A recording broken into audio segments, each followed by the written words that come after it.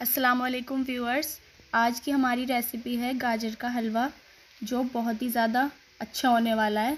तो इसके लिए हमें चाहिए डेढ़ किलो गाजर। ये हमने मोटी इसलिए लिए हैं क्योंकि मोटी गाजरों का टेस्ट बहुत ही मीठा होता है, पतली जो होती है, बहुत फीकी होती है। गाजरों को हमने ग्रेट करने के बाद उसका जूस अलग कर लिया है वन लीटर मिल्क उसके बाद हम लेने वाले हैं थोड़े से बादाम। इसको गार्निशिंग के लिए यूज़ करेंगे, थोड़ा सा खोया।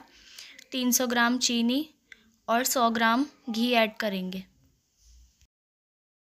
दूध का ग्लास हमारा आधा लीटर का है, इसलिए हम ये दो ग्लास ऐड करेंगे। यहाँ पर अब हम इसमें मिल्क ऐड कर रहे हैं।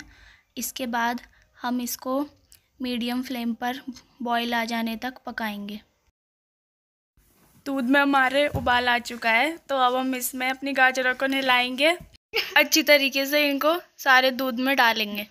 गाजर का हलवा बनाना बहुत ही आसान है और सर्दियों में इसको बहुत ही ज़्यादा पसंद किया जाता है। हलवे को हम मीडियम फ्लेम पर छोड़ देंगे और थोड़ी देर के बाद इसको चेक करेंगे। अब हम हलवे को हल्के हल्के हाथों से ही चलाएँगे। हलवा है तो इसका मतलब ये नहीं है कि घोटते चले जाएँगे। हलवे को हमें तब तक पकाना है जब तक कि हमारी गाजर अच्छी तरीके से गल नहीं जाती है। सिर्फ़ हमें इसको गलाना है। यहाँ पर हमारे पंद्रह मिनट पूरे हो चुके हैं और हमारी गाजर कितनी अच्छी तरीके से गल चुकी है। इसके बाद हम तब तक वेट करेंगे, तब तक कि हमारा मिल्क कम्प्लीटली ड्राई नहीं हो जाता है तो इसको हम हाई फ्लेम पर ही रख के पकाएँगे। और यहाँ पर हमारा मिल्क कम्प्लीटली ड्राई हो चुका है तो अब हम इसमें ऐड करेंगे शुगर चीनी हमें तभी ऐड करनी है जब हमारी गाजर गल जाएँगी, उससे पहले हमें ऐड नहीं करना है, अगर हम ऐसा करेंगे तो गाजर हमारी अकड़ जाएँगी. चीनी डालने के बाद हम इसको अच्छी तरीके से मिक्स करेंगे और चीनी डालने के बाद हमारा हलवा पानी छोड़ देगा तो हम इसको तब तक पकाएँगे जब तक कि ये ड्राई नहीं हो जाता है. अब हम इसमें आधा घी ऐड करेंगे, आधा हम इसके बाद में ऐड करेंगे। आधा घी डालने के बाद इसको अच्छी तरीके से भूनेंगे, जिस तरीके से हम सब्ज़ियाँ भूनते हैं, उसी तरीके से हम हलवे को भूनेंगे। अब हम इसमें ऐड करेंगे इलायची पाउडर।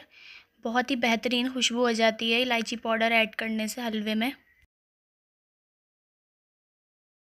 बेहतरीन सी खुशबू लाने के लिए हलवे में इलायची पाउडर ज़रूर ऐड करें। अब हम इसमें ऐड कर रहे हैं अपना बचा हुआ घी। घी को ऐड करते ही हलवे में से बहुत ही अच्छी खुशबू आने लगी है और हमारा पूरा किचन महक रहा है। घी को ऐड करते ही हम अपने हलवे को चलाते रहेंगे और तब तक पकाएँगे जब तक कि हमारा घी हलवे से अलग नहीं हो जाता है। यहाँ पर हमारा हलवा रेडी है, अब हम फ्लेम ऑफ़ करते हैं और डिश आउट करेंगे हलवे को। यहाँ पर खुशबू बहुत ही लाजवाब आ रही है। इसको थोड़े से खोए के साथ बादाम और पिस्ते से हम डेकोरेट करेंगे। ये रेसिपी बहुत ही जल्दी बनने वाली है। हमारे इस मेथड को आप ज़रूर ट्राई करें। इसको डेकोरेट करने के बाद हमारा हलवा बहुत ही अच्छा दिख रहा है और हमारी गाजरों का कलर भी बहुत ही शानदार आया है। इसको हम इस तरीके से सर्व करेंगे। थोड़े से खोए को हलवे में पहले मिक्स करेंगे। ऊपर से थोड़ी सी गार्निशिंग करेंगे। हमारी रेसिपी पसंद आई हो तो हमारी इस वीडियो को लाइक करें और कमेंट में हमें अपने व्यूज़ शेयर कीजिए। हमारी वीडियो को शेयर कीजिए और हमारे चैनल को सब्सक्राइब कीजिए। अल्लाह हाफिज़।